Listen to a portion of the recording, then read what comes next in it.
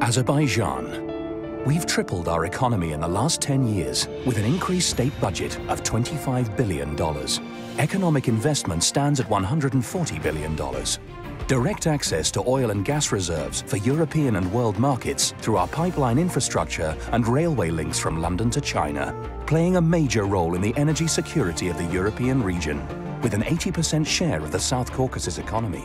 Azerbaijan, the art of great achievements.